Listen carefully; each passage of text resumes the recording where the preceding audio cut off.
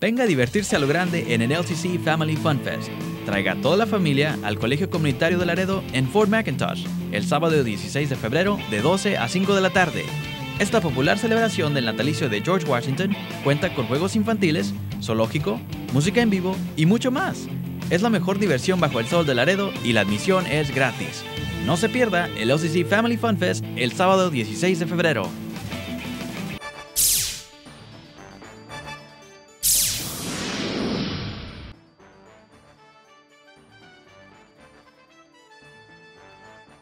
¿Qué tal? ¿Cómo están? Bienvenidos a Líder TV, el foro de las ideas. Me da mucho gusto saludarles en este día riquísimo, viernes 15 de febrero. ¿Por qué está riquísimo? Porque es viernes, inicia el fin de semana y es quincena. Pero sin más preámbulos, los invito a conocer la información más precisa y oportuna de este día.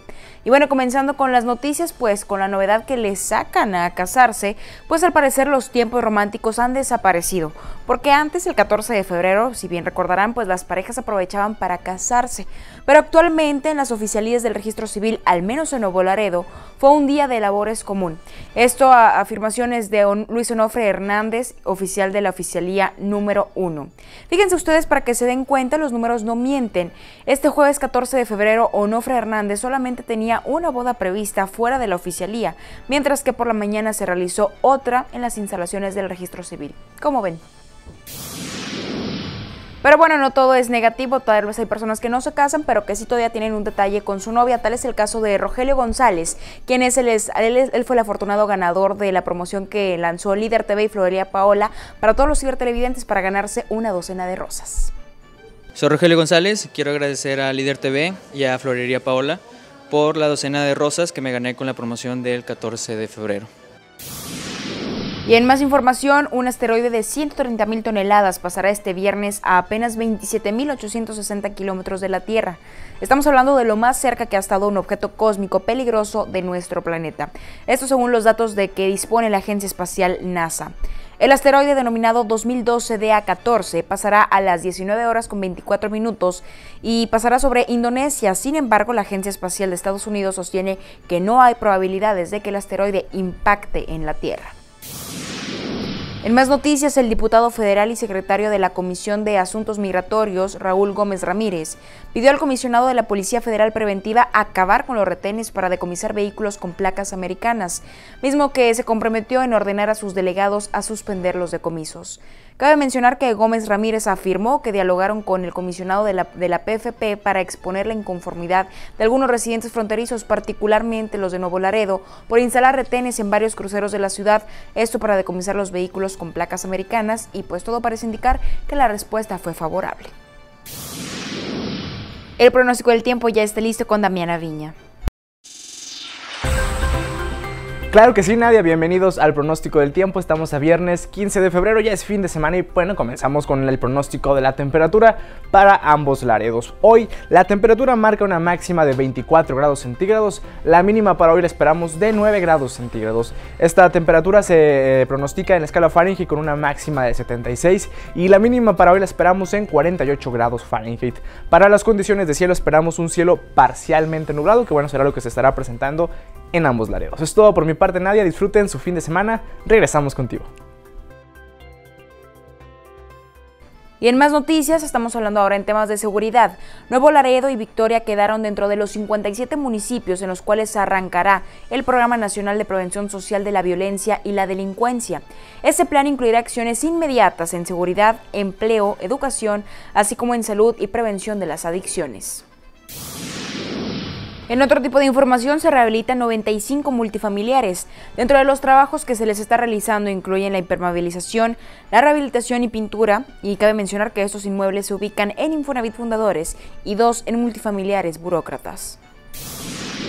El Procurador General de Texas, Greg Abbott, anunció la resolución de dos casos civiles de fraude de Medicaid que producirán más de 10 millones de dólares para el estado de Texas. Los pongo un poco en contexto para que sepan de qué estamos hablando. Después de una investigación, el estado acusó a Upshur Smith Laboratories y Forest Laboratories de, de reportar al programa de Medicaid precios de medicinas elevados artificialmente de forma fraudulenta.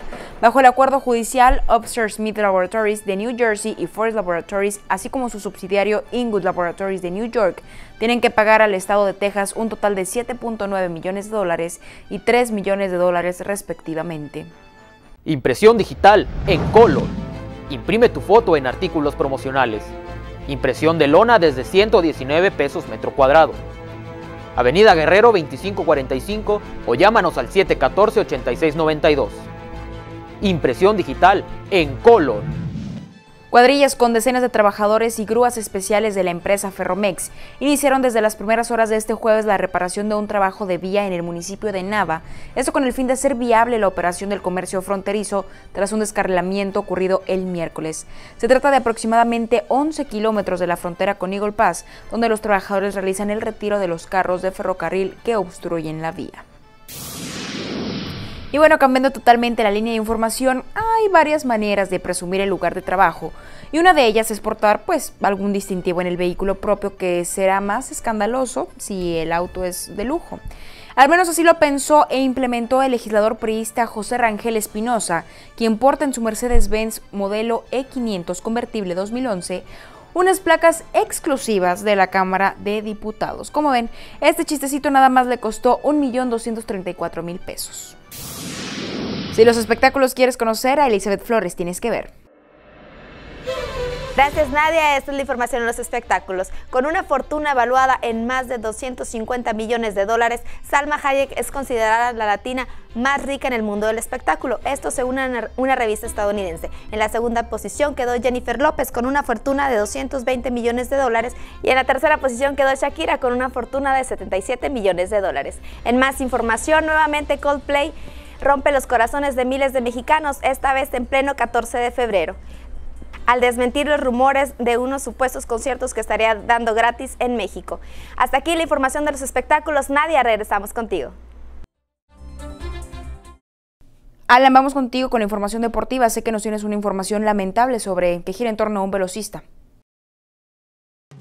Así es, Nadia, una información bastante lamentable. El velocista olímpico sudafricano Oscar Pistorius, o mejor conocido como Blade Runner, es el presunto culpable en el asesinato de su novia, la modelo Riva Stinka. En los primeros informes se manifiesta que el velocista asesinó a su novia porque la confundió con asaltantes, como ven. Pero bueno, en información más agradable, el abierto de Qatar no ha sido, no es de los más populares, sin embargo está dando mucho de qué hablar, pues las de las tres tenistas mejores del mundo están triunfando en aquel, en aquel abierto. Se trata de Serena Williams, Victoria Zarenka y María Sharapova, que están en los cuartos de final, están avanzando muy bien en esta competencia y bueno, seguiremos al pendiente de esto. Esto es todo por mi parte en la información deportiva. Nadia, regresamos contigo. Muy amable Alan por toda tu información.